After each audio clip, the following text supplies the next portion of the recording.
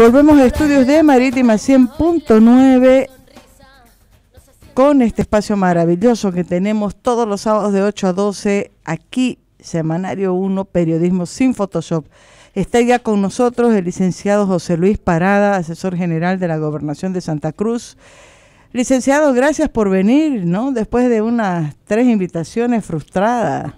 no, Maguicita, una sola que lastimosamente teníamos un compromiso, pero usted sabe que yo estoy disponible para siempre estar presente aquí. Licenciado Parada, hay muchas cosas para hablar en economía. Quiero sí que antes de comenzar a, hablar eh, con usted, escuchemos un poquito a Katia Bacadíes. Estamos ahorita en línea con Katia Bacadíes. Ella es, eh, es abogada, ha sido gerente regional de la AFP Futuro en Santa Cruz. La estamos llamando a propósito de esta polémica que se ha generado por la decisión del gobierno de echar mano de parte de eh, recursos del Fondo de Pensiones para crear un fondo eh, a favor, dicen, de pequeños y medianos productores. Buen día, Katia Bacadíes. Muchas gracias por atender nuestra llamada. Eh, gracias a, vos, Maggie. Gusto de escucharte y saludos a José Luis. Sí, está aquí atento ya con papelito y mango en mano para anotar los datos que pueda darnos eh, Katia sobre este tema. Katia, de entrada, eh, sos conocedora de cómo funcionan los fondos de pensiones, de lo sensible que puede ser este tema. Mi primer pregunta, ¿Se puede o no se puede hacer lo que el gobierno eh, ha decidido eh, de echar mano de parte de los recursos? Se habla de 150 millones eh, de bolivianos, de los recursos del fondo de pensiones, que son los aportes laborales, el ahorro en realidad de los trabajadores, para dar un fondo a los pequeños y medianos productores que están con serias dificultades económicas. Eh, bueno, primero entiendo la preocupación de las instituciones con los pequeños productores, pero obviamente hay varios mecanismos para poder apoyarlos. Eh, en, relación a tu pregunta, efectivamente, la nueva ley de pensiones, la 065 de diciembre del 2010, incluye en un párrafo del artículo 140 en el inciso C que un 5% de los fondos de pensiones podrían eh, ir a pequeñas y medias empresas sin necesidad de una calificación de riesgo. Que este artículo, personalmente, bueno, y muchos otros analistas, siempre criticamos porque eh, habría las puertas para que un 5% de estos fondos pudieran eh, invertirse sin un, sin un buen estudio, ¿no? Entonces se amplificaba el riesgo ahí. Y ahorita obviamente esto yo creo que si bien por lo que he leído eh, indican que habrían garantías tanto de las empresas agroindustriales receptoras de la materia prima como fondos de garantías bancarios para estos fondos, hay mucha susceptibilidad porque no nos olvidemos que ahorita hay casi dos millones de ahorristas, dos millones de trabajadores que cuentan con una caja de ahorro y la suma de estos ahorros en estas dos millones de cajas de ahorro ya ascienden a 13.500 millones de dólares. Recordemos que desde que está este sistema de capitalización individual, o sea, de cajas de ahorro, que fue el año 97, o sea, este primero de mayo próximo vamos a cumplir 20 años y la gente ya semestralmente, año a año o cuando quiera por internet, tiene acceso a su extracto, se da cuenta si su empresa aporta o no y cuánto están ganando de rendimiento sus aportes y cuánto de ahorro tienen. Claro, y por la cantidad de años ya es una suma eh, considerable, entonces cada uno ya es consciente de la propiedad que tiene sobre eso. Y en esta misma ley indica que se crea una gestora de pública de pensiones, que la administración va a pasar a ser estatal. Entonces, a mi entender, lo que más preocupa es la administración estatal, porque esto, si en breve pasa una gestora pública, pasa a ser juez y parte. Ahorita a la AFP hay una autoridad de pensiones y seguros que la fiscaliza. cuando pase a ver esta gestora pública, el mismo Estado se va a fiscalizar. Entonces, y lamentablemente en el pasado, eh, a largo plazo y, acorde, y reciente también, hemos tenido eh, malas experiencias con la administración de los fondos. Hay una desconfianza entonces instalada, eh, eso genera mucha susceptibilidad. Me indicabas que según la nueva ley se faculta a que pueda usarse un 5, hasta un 5%. Pero dice la ley y todavía no se este, sujeto a reglamento y todavía no se ha reglamentado. Me imagino que el gobierno si lo va a hacer debe estar trabajando un decreto reglamentario para esto porque ahorita sin ese decreto reglamentario, sin el reglamento no se podría hacer. No hay un reglamento. Esto quedaría más como en un esta anuncio parte, por ahora. Esta parte no se ha reglamentado. Tal vez mañana nos, nos sorprendan con el decreto reglamentario, pues me imagino, no sé, ¿no? Con los anuncios que va a haber mañana, no sabemos. Pero tampoco eso es de, de la noche a la mañana, son decretos reglamentarios, no es tan simple. Yo no sé, ¿no? A mi entender es un costo político grande. Yo creo que lo van a medir. Quizás no tomaron en cuenta, ¿no? El costo político que significaba esto. Además, en relación a los productores, hay varios otros mecanismos. La misma COP hoy leía que decía, y es verdad, se está haciendo esto, pero se regulan las exportaciones de los productos. ¿No? Tenemos control de, de exportaciones, de precios. Entonces, este, no es coherente. Por otro lado, sí, hay empresas, las empresas agroindustriales, sociedades anónimas, muy bien calificadas, varias ya han emitido monos, bonos y se ha invertido en ellas. Estas u otras empresas, otras sociedades anónimas, pueden emitir bonos que eso no se necesita ninguna reglamentación, está bajo ley, para que se invierta con destino a los pequeños productores.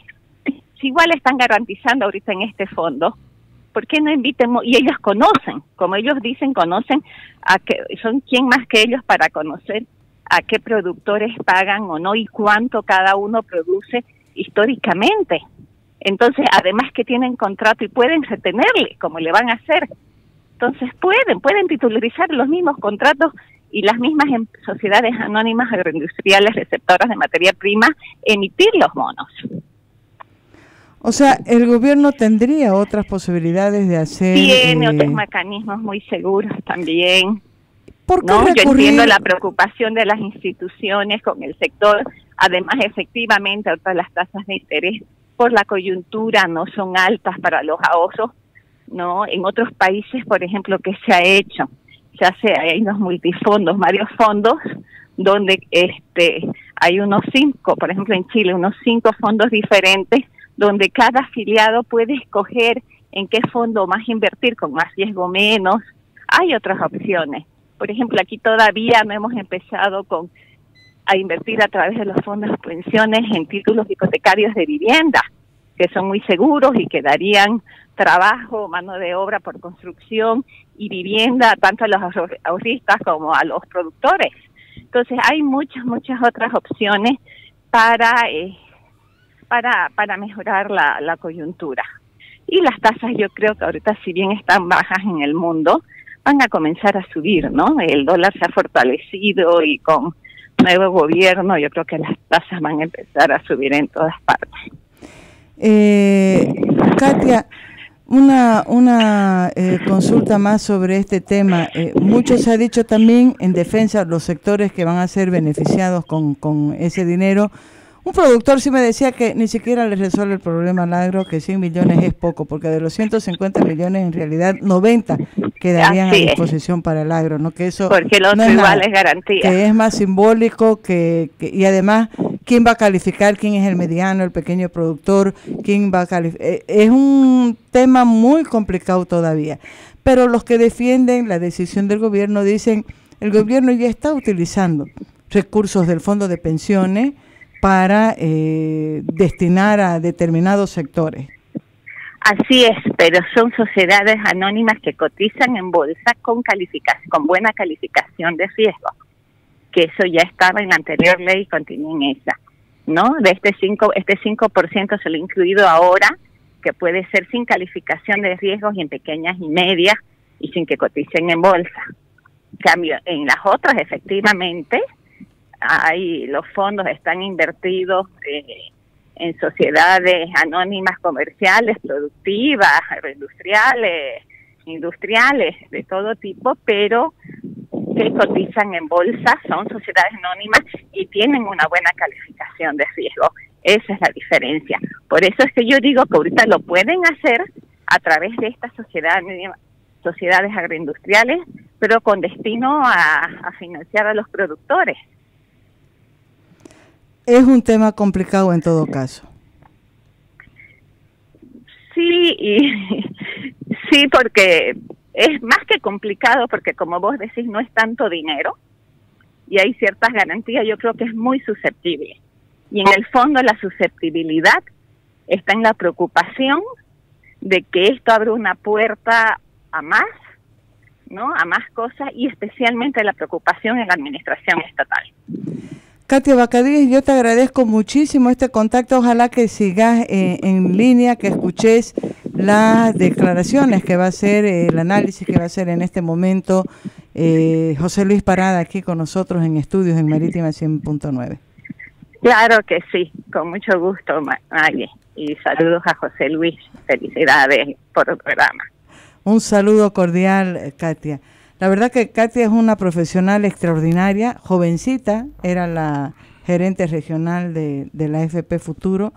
Yo cada vez que la veo no me puedo dejar de acordar, pues, ¿no? Hija de quién es, Ormando Bacadíes, su padre de Katia, político conocidísimo en Santa Cruz. Padre político mío. Le decía yo ayer, ¿sí? Claro, yo le tengo un aprecio especial. Ah, yo le decía ayer Oye, cada vez que hay algo, cuánta falta me hace no poder llamarlo, porque lo llamábamos los periodistas, acudíamos mucho a él, era un conocedor, además, era un animal político de verdad. Este, la falta que hace, le digo, en los tiempos de hoy para hacer un debate político en serio, ¿no? Pero bueno, José Luis, vamos al tema. La he escuchado a Katia, no sé si comparte los criterios, la preocupación, la lectura que hace Katia de esta decisión del gobierno. A ver, eh, yo creo que una de las personas que más conoce sobre fondo de pensiones es Katy, porque ha sido muchos años que ha estado trabajando. Muy joven eh, empezó a trabajar en esto y lógicamente me allana el camino para poder continuar con el análisis que ha dado ella sobre el fondo de pensiones. Yo quiero ir a un tema de fondo. Como ella decía, este es un monto demasiado pequeño para dos aspectos que viene a ser, primero, un costo político y el otro aspecto que es complicado, que es el de la gestora pública estatal. Y aquí viene el tema de prioridades. Y voy a hacer un ejemplo. Dos aspectos, dos sectores estratégicos son fundamentales para la vida económica de un país el agua y los alimentos. Sin agua y sin alimentos, ya vean lo que está pasando en La Paz, en cinco departamentos, el drama que eso implica. Y lógicamente el gobierno ha incorporado ahora 150 millones de dólares, que es mínimo con relación al 5%. Son 6.500 millones de dólares que tendría ese fondo en este momento considerando de que hay 13 mil millones de dólares en el fondo de pensiones. Por lo tanto, es mínimo el monto que se propuso. Entonces, esta fue, pienso, una jugada de tipo político que el gobierno no lo midió. Dijo, le damos al sector productivo 150 y los 6.350 nos los chivoneamos después como lo hemos hecho en el tema de las reservas internacionales netas. Y yo voy aquí a un tema que es fundamental. Las reservas internacionales netas en este momento han entregado a empresas públicas más de 5.080 millones de dólares. Eso está en el balance del Banco Central.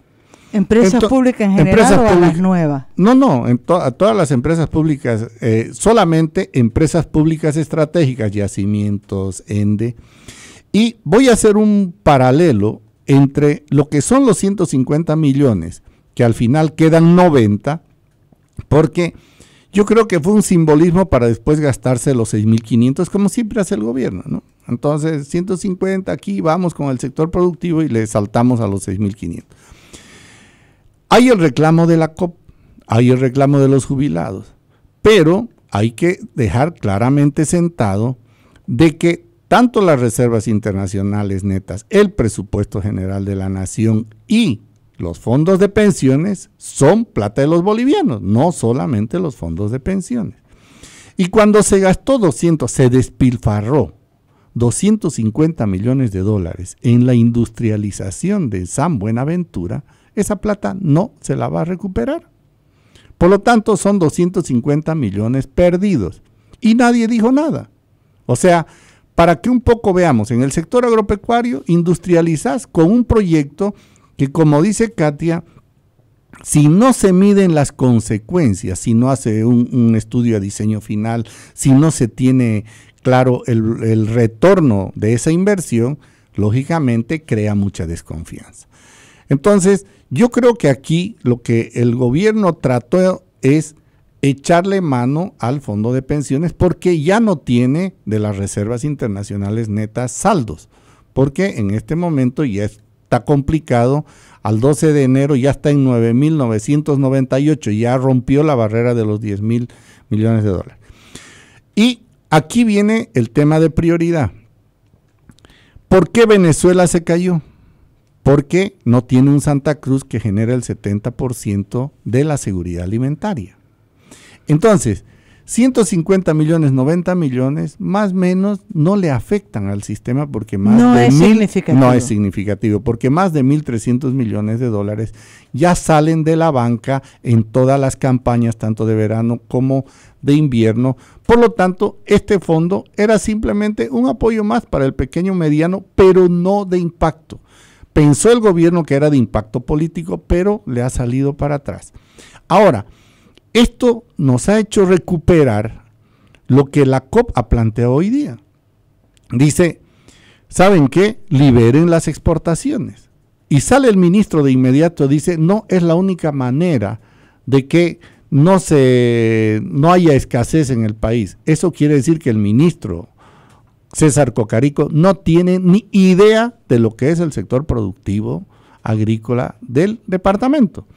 Porque del 100%, le voy a dar un producto, soya, del 100% se cubre el mercado entre el 15 y el 20% de la producción, 80% es excedente. No se puede manejar con cupos porque esa es una política cavernaria. Esto de los cupos en Venezuela ha ocasionado que en este momento no hayan ni dólares ni alimentos. Y eso es grave. Y el gobierno, este tema de fondo de los 150 millones, nos muestra de que si el gobierno sigue con esta política cavernaria de cortar exportaciones, le quita la posibilidad de hacer negocios a los productores y tener excedentes, así como en el momento que cortó la exportación de azúcar, y lógicamente se cayó el precio y después dio el cupo. Entonces, si no cortan esta política cavernaria, como digo yo, porque eso es de los años, son de países, yo diría, manteniendo sin ser, sin ser drástico, digamos, como países africanos. Ahora, lo del cupo puede ser eh, como un mecanismo más de control del sector productivo. Mm, no. ¿O no? Yo creo. ¿O era necesario? No, no, no hace falta, porque ellos piden Pero ¿cuál podría ser información. la razón del gobierno para fijar los cupos? Simplemente hay un problema de una ignorancia de lo que es el sistema productivo. Primero, el gobierno ha creado en las empresas agropecuarias costos adicionales solo para mandar la información sobre cuánto tienen almacenado, dónde tienen almacenado, cómo está almacenado, cómo quiere decir que esa información que le llega allá no la analizan. Cuando uno trabaja con mercadeo agrícola, asegura un 20% de la producción para mercado interno y ese 20% no tiene que bajar y lo demás se va manejando con una política flexible de exportaciones, pero no cupos, porque los cupos tardan 90 días. Y puede pasar como en Venezuela, que te quedes sin dólares y que te quedes también sin alimentos. Porque al final terminas perdiendo plata en el sector agropecuario y no puede ser, por ejemplo, que tengamos cupo para la soya, cuando el 80% es excedente. Ahora, eh, tengo entendido que han liberado un decreto para la exportación de carne, porque claro, lógicamente hemos llegado a un buen nivel y esa es la manera de generar divisas. Y el gobierno está más que todo pensando cómo controlar la inflación y cómo perjudicar a Santa Cruz, porque yo no veo otra razón. Y estos 150 millones hace que algunos políticos por ejemplo, he visto incluso a, alguna analista que siempre ha tenido un criterio muy profesional, andar con que la burguesía cruceña, o sea, en el mismo discurso del MAS entra Unidad Nacional a manejarlo directamente. Entonces, yo creo que el análisis que ha hecho Katia, primero, sobre que la gestora pública, cuando no tenga el control de las AFPs, puede hacer lo que le da la gana, como ha hecho con el presupuesto general de la nación, como ha hecho con las reservas internacionales, y eso es lo preocupante. Entonces, porque la Asamblea con los dos tercios no tiene control, la Contraloría peor, nunca ha entrado a ver estos proyectos grandes. Le doy otro ejemplo, la planta de urea y amoníaco también tiene plata de las reservas internacionales netas, debió haberse inaugurado el 2015 y hasta el día de hoy, y son más de 1.200 millones de dólares que se supone van a invertirse ahí. Entonces, yo creo que este tema de los 150 millones de dólares eh, fue un mal cálculo, en primer lugar, del, del gobierno, en segundo lugar, de los 6.500 millones, que es ese 5% que tendríamos en este momento, que el gobierno no toque ni un centavo más. Porque ya lo escuché al viceministro Guillén decir que vamos a crear otros fondos. Claro, como se le está acabando la plata de las reservas internacionales netas, se cayeron los ingresos de los hidrocarburos. En dos años y medio no han tomado ninguna medida anticrisis. Por ejemplo, una racionalización en el gasto. Entonces, yo creo que es una discusión vana la que está en este momento atacando al sector agropecuario, porque hay que tener en cuenta que el sector agropecuario, que siempre ha estado financiándose, genera el 70% de la seguridad alimentaria. Por eso es que el gobierno ha tenido tranquilidad estos, estos 11 años, que no lo tiene Venezuela y lo tienen problemas también otros países. Entonces, Creo que la discusión ahora debería centrarse en la liberación de una política, eliminar la política de cupos, porque eso puede suceder como en Venezuela. Alguien ganó plata, porque fueron los que controlaban el cupo de los alimentos y el que controlaba el cupo de los dólares. No quisiéramos creer que ahí también esos atrasos de un mes, dos meses, tres meses, en, en la, habría que verificar cuánto tardan en sacar esos cupos para ver si realmente tienen observaciones serias y si hay un análisis serio sobre máximos y mínimos de producción, sobre todo en la estacionalidad.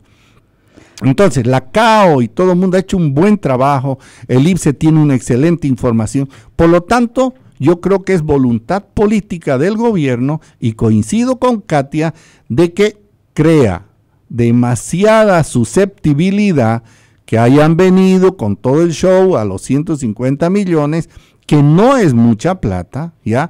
Pero detrás hay 6.500 y peor todavía, una vez que no estén las AFPs, ese control cruzado del fondo de pensiones en este momento se complica demasiado porque el gobierno, como en las reservas y como en las empresas y como en los ministerios, se vuelve juez y parte y el despilfarro de 11 años de un presupuesto programado es de 211 mil millones de dólares. Equivale al gasto de más de 60 años de otros gobiernos. Entonces, ha habido demasiada plata y creo que esta discusión en este momento, como lo ha planteado Katia con toda, con una profesionalidad muy alta, demuestra que hay que sacar dos partes positivas. Primero, que la COP reconoce de que hay que liberar el tema de las exportaciones como una política clara de darle también al sector la oportunidad de financiar sus actividades y sobre todo generar utilidades en los mejores momentos del, de la venta de su comercio, de la venta de su producto afuera garantizando el tema interno, si sabemos que hay, que hay mayor producción y que nunca ha faltado.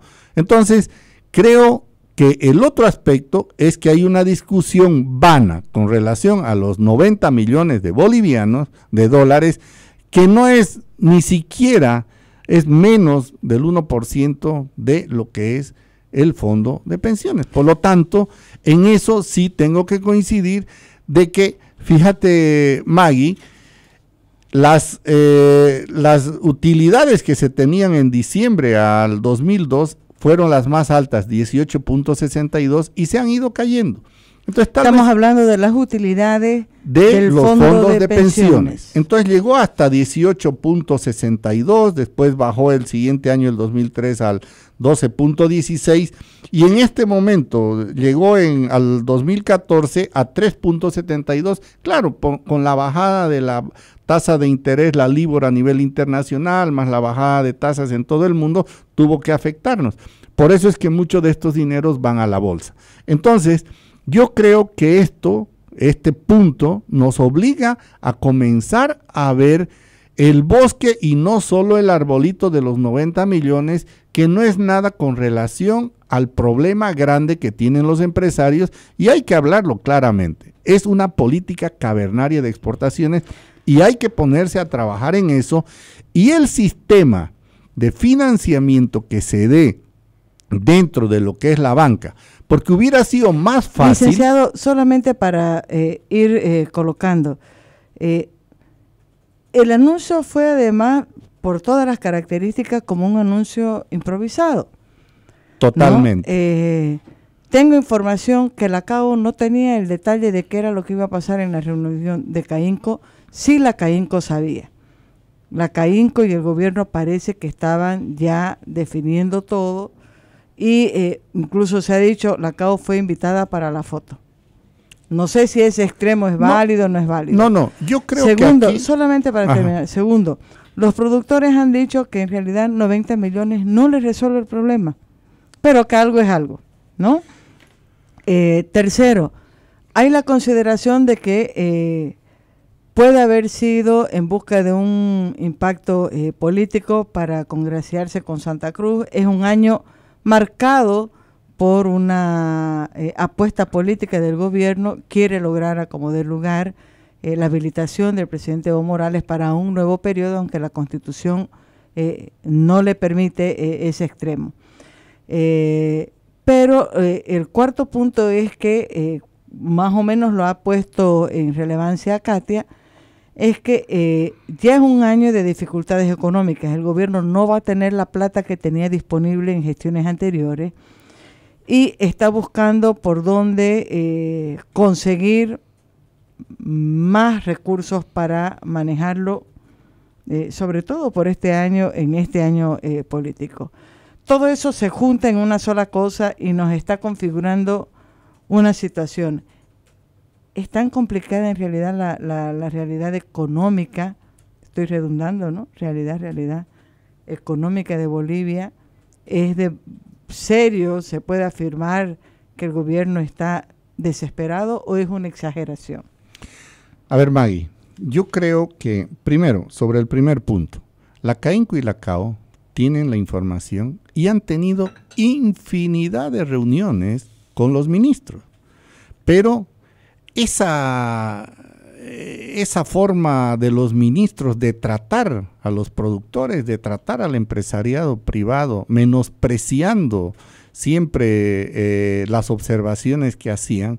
Claro, cuando había plata, venía un, uh, un, ministro, por ejemplo el de Economía, y en este caso también lo veo a César Cocarico, de que las recomendaciones que le hacían pensaban que era simplemente de tipo político y porque eran los oligarcas y esto y lo otro, y manejaban sus políticas porque había plata. Hasta el 2014 había plata. Entonces, a partir del 2014 que se caen, tanto la CAO como la CAINCO fueron presentando varias alternativas y la CAINCO propuso esta parte de manejar una parte de los recursos independiente de lo que habían sido la ya fallida política que el gobierno aplicó muy mal y con mucho retardo el tema de la refinanciación de las deudas, porque era más fácil, en vez de dar estos 90 millones, darle toda la facilidad para que la banca pueda refinanciar, la deuda de, los, de las pérdidas, porque al final el que ha sido agricultor, yo he sido agricultor, sabe que hay campañas buenas, que hay campañas malas, pero ahí están manteniendo el tema alimentario. Por lo tanto, fue una, una de las propuestas que hizo la CAINCO en algún momento, así como presentó la liberación, así como presentó que no se pague el doble aguinaldo, todo este tipo de cosas, están en 20 mil documentos que los ministros se reían porque había plata. Ahora el problema es muy complicado. A mí me ha sacado el Ministerio de Economía y Finanzas Públicas un, un video diciendo es mentira que, que, que Yacimiento se administra mal, es porque el precio bajó. Ah, no era la nacionalización. Entonces, con, con relación a ese punto, el segundo, el segundo punto, que es el tema del impacto político, yo creo que el gobierno está tratando de remediar un poco las políticas erróneas que han utilizado, por ejemplo, financiando San Buenaventura. Se van a gastar 250 millones y vas a deforestar más de 9 mil hectáreas para sembrar caña. Ese proyecto no era rentable bajo ningún punto de vista. Sin embargo, le metieron. Lo mismo que la planta de urea y amoníaco. Entonces, fue para atrás el tema del impacto político, porque ha abierto una caja de Pandora para que podamos, y esperemos que el presidente comience a tomar en serio mañana y en las cuatro horas, en vez de estar comparando una familia que ganaba mil dólares con una que gana seis mil y seguimos pobres como antes, no siga comparando dos épocas totalmente distintas económicas y comience a buscar alternativas. Efectivamente, dentro de la banca hay recursos, hay que darle la facilidad para refinanciación y hay que comenzarla a revisar nuevamente. Y el aspecto que hay que considerar es que hay una caída muy fuerte de ingresos, sobre todo en hidrocarburos, que afecta el plan de inversión de todo el Estado porque afecta a 370 instituciones públicas. Por lo tanto, va a haber menos circulante. Entre importaciones entre exportaciones entre 2014 y este año son más o menos 7.500 millones de dólares menos eh, que vamos a, tener en ingresos. Entonces... Hablamos de exportaciones en Solo exportaciones, pero es justamente porque cuando habían buenos precios, habían los cupos y no se dejó trabajar. Después vino lo de Chile, los camiones. O sea, para exportar en Bolivia es un drama. ¿Por qué? Porque se te atrasó el bloqueo en Chile porque hubo paro de los chilenos de la aduana y no llegaron al barco. Ese es un costo adicional. O sea, es un problema y el gobierno no le facilita tampoco. Y con un dólar fuerte es más difícil el tema de exportación. Entonces, hay problemas económicos, hay que comenzar a tomar medidas, sobre todo de racionalización del gasto público. El gobierno no puede seguir despilfarrando como estaba antes. Entonces, licenciado, yo tengo una, una consulta. Yo sé que usted no puede hablar como si fuera Caínco, como si fuera CAU, pero conoce muy bien cómo funcionan este, estos sectores. Eh, ¿Por qué aceptar eh, esta oferta?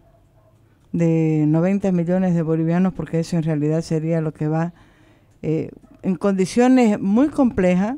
Caínco sería, o la agroindustria en realidad, eh, sería la responsable de calificar quiénes son los que se van a beneficiar, de mediar e incluso de dar un 30% como garantía para asegurar que va a haber el retorno, que se va a cubrir ese financiamiento. Es complicado, ¿no? Ya han dicho los productores que eso tampoco les resuelve. Eh, Katia nos ha mostrado otras vías mucho más factibles que tendría el gobierno para poder resolver el problema que tienen los productores. Usted mismo lo ha planteado en este momento. La solución mucho más simple y más práctica, inmediata además, y de beneficio directo, medible, sería que la banca flexibilice y ayude a los productores a, refinanciar las deudas que tiene. O sea, hay muchos caminos alternativos a este. Y digo, ¿por qué Caínco y Cao han aceptado? Además, sabiendo que la peor parte se la están llevando ellos, ¿no? Son los, los explotadores, los que se quieren quedar con la plata de los trabajadores, etcétera. A ver, Maggie, yo, yo pienso que este ha sido un error estratégico tanto de los productores como del gobierno, porque lo único que han generado es, a la larga, eh, hay que ver desde el, lado del desde el punto de vista positivo y desde el punto de vista negativo. Esto demuestra de que se está mirando el árbol, no se está mirando el bosque y todo el mundo se ha dado cuenta de eso. Segundo, de que esto, la parte negativa es la imagen que han dado de que se están gastando los recursos cuando es menos del 1%, lo cual tampoco es un, es un problema desde el punto de vista si se quedara ahí para el sector productivo y no le salten después a los 6.500 kilómetros, a los 6.500 millones de dólares. Pero la agroindustria, Maggie, hace más de 20 años en este país financia al gran productor, al pequeño, al mediano. Tienen todo un sistema de administración de cartera como son los bancos, porque la agroindustria, ¿qué es lo que hace? A ver, venga productor, porque tiene que garantizar que su industria también haya funcionado. Entonces le dice, venga productor, te voy a dar semilla, te voy a dar insumos y el momento de la cosecha. Entonces le hace un plan de pago. Entonces no está improvisada la, medida. La agroindustria tiene la experiencia porque aquí se han financiado más de un millón de hectáreas de esa manera. Y la agroindustria hace de agente de retención cuando hace el pago para pagar también a los bancos o a las empresas que entregan los agroquímicos. Sobre eso tengo dos preguntas. A ver. Una ya se le dice yo a algunos productores. No entiendo por qué ustedes han aceptado este, e, esta posibilidad porque además está lejana todavía de que sea un hecho, ¿no? Sí, yo los he escuchado el año pasado lamentarse y además darle durísimo a la agroindustria porque han dicho que están ustedes rehenes de la agroindustria. Como les ha ido prestando y ellos no han podido pagar por un montón de problemas, eh, la agroindustria impone prácticamente el precio. ¿no? en la negociación de los precios. Es la queja de los productores. Estamos en sus manos, como les debemos, nos ponen al final los precios que ellos quieren poner, eh, hay un círculo vicioso, no logramos salir de, esta dependencia que tenemos. Bueno, ahora va a haber una mayor dependencia, no la entiendo, no, no entiendo eso. Y segundo, Katia Bacadíez me explicaba ayer y hoy lo ha dicho de nuevo en, en este contacto por teléfono, dice, lo que no entiendo es por qué no han aprovechado más bien de hacer que las agroindustrias, cada una que es conocedora de sus productores, que sabe cómo producen, qué producen, en qué tiempo, qué deben, qué no deben, ¿no? Se hagan cargo de eso, apliquen a la bolsa de valores, ellas sean las que capten los recursos y vean cómo financian a esos productores. ¿Por qué este mecanismo, digamos, por qué esta propuesta? parece que estamos en un círculo vicioso, pero son las dudas que no termino de, de aclarar. Has tocado el punto clave.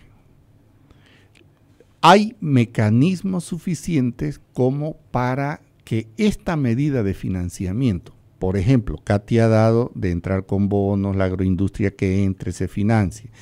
Hay también en la cual se pueda manejar flexibilizar el tema de lo que es la refinanciación, con lo cual también esos 90 millones son un piojo tuerto si le damos la facilidad para que el productor pueda refinanciar, porque muchas veces ese pequeño agricultor que tiene 50 hectáreas, que su terreno no sirve, no sirve para garantía porque es inembargable, lógicamente es una limitante. Y el tractor, porque lo puede vender, no es una garantía real. Entonces, habiendo estos mecanismos, es que te vas por algo que ha hecho el gobierno 11 años.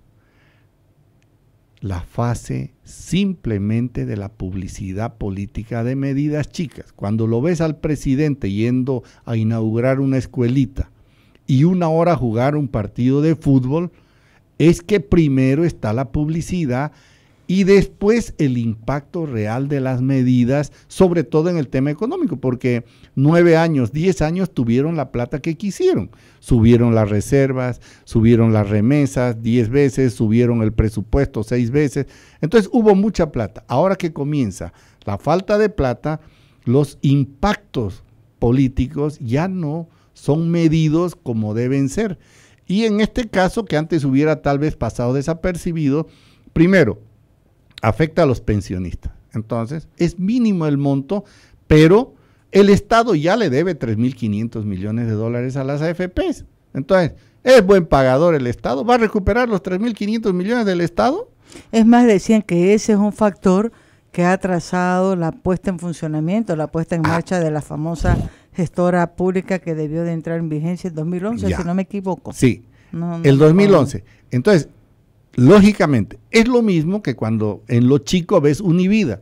Al gobierno se le ocurrió vender SOAT. Y miren el fracaso, es que todo lo que toca el gobierno, por eso a mí me preocupan los cupos, porque va a terminar perjudicando totalmente al sector productivo. Y si hay un ministro como Cocarico que dice que se puede disparar el precio es porque no tiene conocimiento de los niveles de producción de este departamento, ni de los excedentes que tiene cada industria y el departamento. Entonces, claro, si hubiera, si EMAPA tuviera un trabajo serio sobre mercadeo agrícola donde diga, señores, vamos a mantener un 20% de almacenamiento. El otro 80 lo vamos manejando y cuando baje de 20 vemos la forma de la estacionalidad de la producción. Yo no he escuchado a nadie, ni a los productores, ni a nadie decir con el 10%, con el 15% de la producción cubro 8 meses, 9 meses, 10 meses.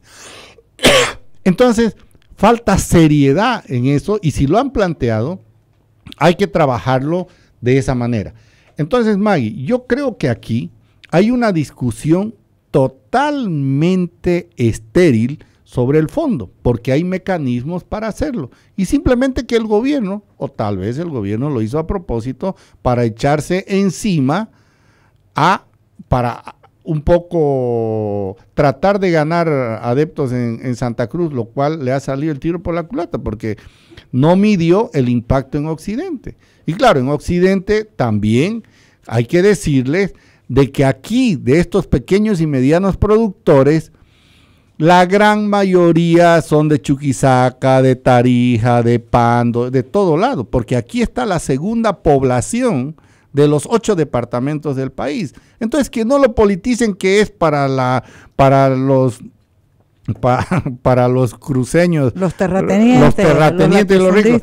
Aquí el pequeño y mediano productor 60% vienen del interior. Por lo tanto, aquí vive el 50% son vivientes de otros departamentos. Por lo tanto, ya dejémonos de esas discusiones que el terrateniente, que el esto, yo los escucho, como le digo, hasta los políticos, hasta una política que la consideraba seria en sus opiniones, con esas burreras políticas que no le vienen al, caso. Quiero identificarle y no puedo, che, será? Eh, en su momento lo, lo vamos a decir, pero un poco también en la línea que dijo Samuel Doria Medina, que se aplazó en sus análisis. ¿Por, ¿Por, qué? Por querer ganar unos cuantos votitos también en Occidente, vino a enfrentar con Santa Cruz en la misma política del MAS.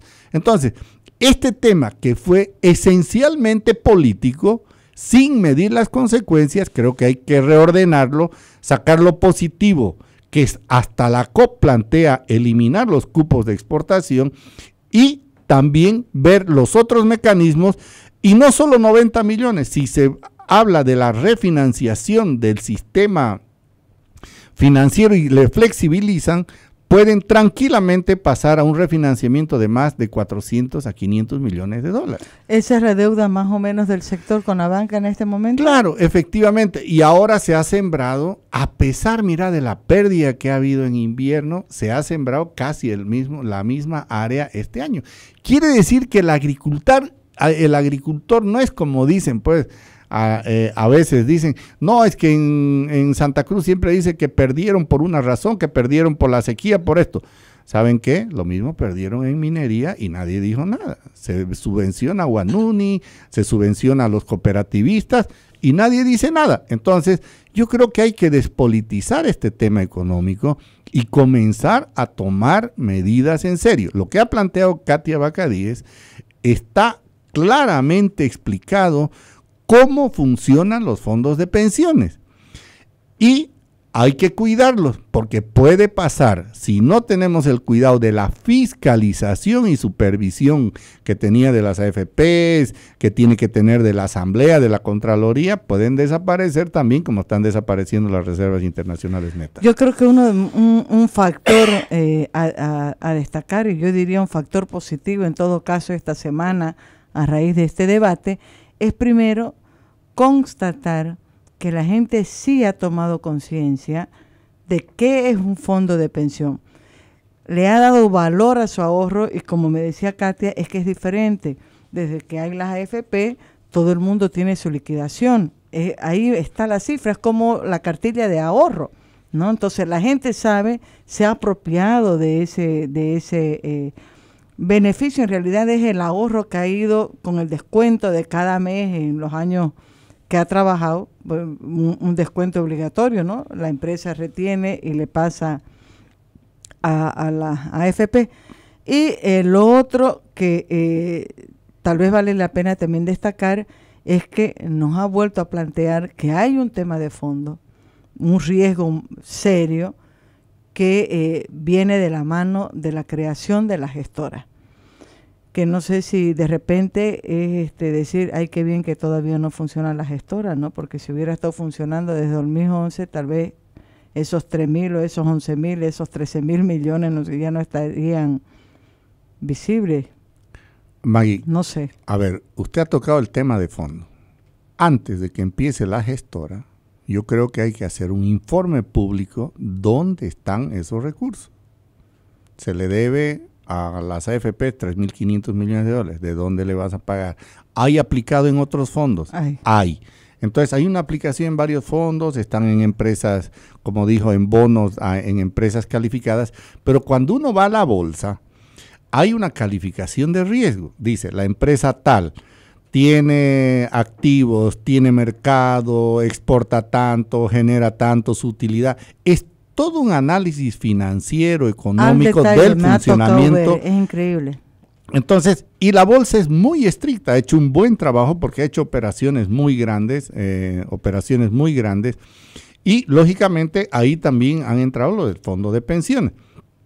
Entonces, yo creo que lo que aquí, eh, con el planteamiento que hace la Central Obrera Boliviana hoy con el tema de liberación de exportación, quiere decir que está mejor ubicada que el propio gobierno. Porque lógicamente el fondo de pensiones, que son 13 mil millones, es lo último que tenemos. Yo también tengo un aporte bastante alto, pues desde más o menos mayo, junio del 2000, del 1997, y lógicamente, y ya me beneficio de, de, esos fondos porque ya recibo la parte de intereses, y lógicamente uno está pendiente de qué van a hacer con ese fondo. Y lo que han hecho con el gasto en los 10 años de este gobierno, donde los megaproyectos no van a rendir lo que está rindiendo. Ya hemos visto CAMSE, hemos visto Fondo Indígena. O sea, donde ha metido la mano hay problemas. Entonces, que por favor, y esto, lo que usted ha tocado es fundamental, previamente se ha hecho conciencia de que no, este fondo de pensiones no se lo despilfarre y se comience a ser serios, sobre todo en el tema de las inversiones en la generación de lo que son eh, intereses y utilidades. En este momento, por ejemplo, la utilidad está casi en 4.3. Me llama mucho la atención ese cuadro que tiene usted en mano, eh, José Luis. ¿Es este, May? Es. Ah. ¿Cómo ha bajado eh, la utilidad de porque eso sucede también en los bancos. Eso sucede en los bancos, porque los bancos antes también le cobraban al productor 18%. Nadie dice nada cuando el productor pagaba 18%. ¿ah? Entonces, si el productor pagaba 18% cuando hacía una actividad agrícola y en este país no faltó alimento, ah, cara, quiere decir que cumplió con todo lo que lo que era la eficiencia en el tema de producción, por eso la seguridad alimentaria. Y este cuadro cómo va bajando es la situación internacional. Cae la LIBOR de 6 más o menos a 0.3. Y los créditos, lógicamente, también por eso se benefició el gobierno y nos beneficiamos todos, de 0.3 de LIBOR más 2 o LIBOR más 3 se pagaba, cuando que eso hacía 3.5%. Y antes se pagaba de 9 a 10 en los préstamos externos. Y en la banca se pagaba 18%. Pero nadie habla de los terratenientes cuando pagaban 18% para dar alimento a este país, que ha sido Santa Cruz. Entonces, y eso también hay que tomarlo en cuenta. Y eso me extraña que los de la CAO no, no digan cuánto hemos financiado nosotros cuando la banca nos cobraba 18%, cuando nos cobraban 15%, y cuando los FERE, que eran los que daba el gobierno, estaban en 12%. Ahora, eh, licenciado, este es un tema, por lo menos ha valido para eso el anuncio. Tengo la impresión de que ha sido eh, improvisado, que había la idea, pero que no Primero que no está redonda la idea, falta el decreto reglamentario, o sea, es más un anuncio que todavía no puede ser puesto en práctica. La gente ya cree que mañana van a estar los 90 millones en los bolsillos de los productores y está verde, o sea, me parece que es más un anuncio y que se ha usado al sector y el sector se ha dejado usar además este, por eh, la necesidad de un impacto eh, político. No olvidemos que mañana están este, celebrando eh, mañana es el discurso, mañana va a estar aquí en la tarde el presidente, el ministro de Autonomía nos, nos ha dado el detalle de todo lo que va a haber, entonces nada de lo que hace el gobierno está libre, digamos, de, del impacto, del interés, del objetivo político que, están buscando. Al margen de eso, hay una preocupación. Ha bajado la exportación de gas a Brasil, eh, un dato del secretario de Minas e Hidrocarburos de la Gobernación señala además que también ha bajado la producción de Incahuasi. Eh, decía eh, este secretario de, la Gobernación que el más afectado con esa baja, sin duda alguna, es el departamento de Santa Cruz, pero también están los otros departamentos productores y las 380 y tantas instituciones que se benefician con la distribución del, del IDH. Eso es significativo, se va a sentir este año. Carlos Hugo Molina habla mucho también de un dato que no lo tengo ahorita en mano, de cómo ha aumentado el gasto por la importación de alimentos que ya no está produciendo eh, el país. Entonces, eh, ha bajado la, eh, los niveles de ingresos, han, han, bajado, ha aumentado la mora en la banca, ¿no? En un porcentaje que no lo tengo tampoco en mente, pero estoy hablando a grandes rasgos de algunos indicadores que pueden este, plantearnos un panorama ya más preocupante. Usted lo ha venido anticipando, ¿no? Desde hace tiempo, antes de que, de que esté el panorama como está y que el mismo gobierno admite ya algunos, algunos factores. Eh, ¿Esto es para que nos preocupemos muchísimo los bolivianos o no? Yo creo que tenemos que preocuparnos los bolivianos porque hemos vivido en este momento 10 años de bonanza. ¿Cómo le cambia la mentalidad a esa gente que está acostumbrada a gastar? Es muy difícil. Y usted ha tocado un punto que es fundamental, la tasa de interés. ¿Qué pasa si comienza a subir la tasa de interés? Está bien, se benefician los fondos de pensiones, pero esos 21 mil millones de dólares que están depositados y que están en crédito también van a subir. Entonces, la tasa de interés es un factor que en este momento, con la ascensión de Trump, está creando nomás una cierta susceptibilidad. Pero esa cuestión de la tasa de interés, ya el propio ministro Arce Catacora ha dicho, eh, nos puede afectar, vamos a ver, pero nos puede afectar la política de Trump.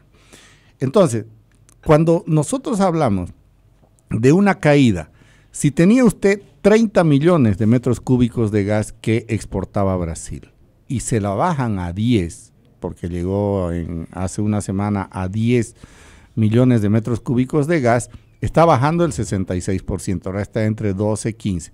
Pero igual hay una bajada del 50%.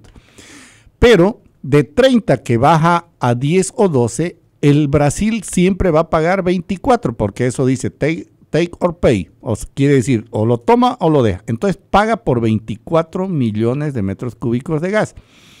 Quiere decir que el gobierno va a recibir por un pago por 24 millones de metros cúbicos de gas y va a pagar 12 a los departamentos productores y a los beneficiarios y se va a quedar con el otro 50% porque no tiene identificado. Entonces, esa caída de ingresos la cuantificó más o menos en la gobernación, son 18 millones de bolivianos. Pero usted dirá 18 millones de bolivianos Eso equivale aproximadamente a un 38% de los ingresos de la gobernación.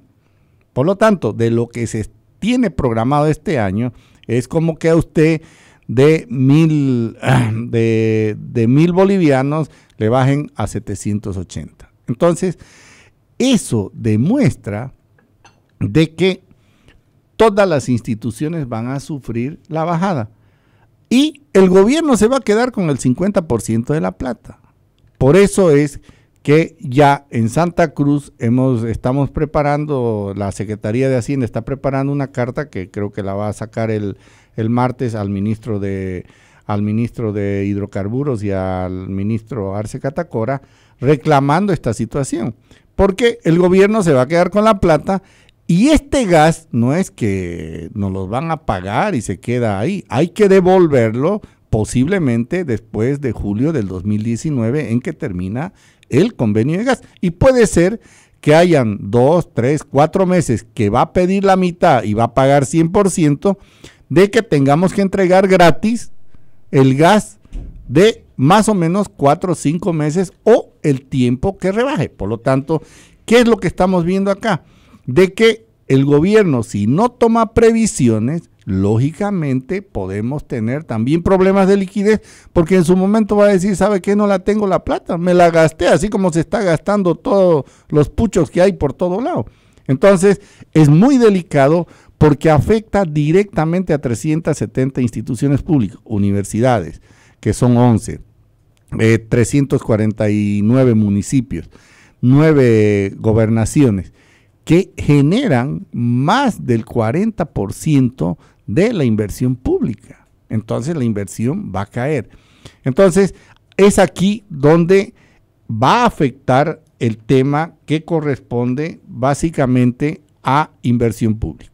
Y el otro tema que tocó Carlos Hugo Molina, mil millones de dólares se están importando en alimentos. Antes no pasaban de 120 millones. y de productos, y de productos, Maggie, que se pueden producir en el país y que no se producen, primero, porque entran de contrabando, segundo, porque la moneda es fuerte, tercero, porque no hay la protección al, exportador y no hay incentivo al, al productor. Entonces, hemos pasado de 120 millones, más que todo a unos mil millones de dólares, que a los 90 millones no es nada.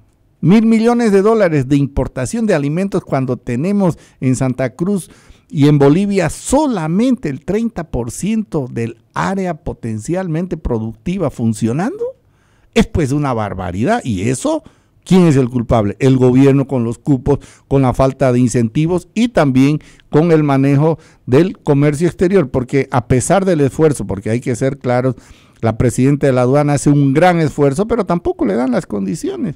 Ahora, dicen, eh, para ir terminando, ¿está ya el profesor Arturo? Sí. Este, ¿Se va a sentir el impacto en el bolsillo de la gente común? ¿O esto va a quedar más en sectores empresariales, productivos, en la administración pública?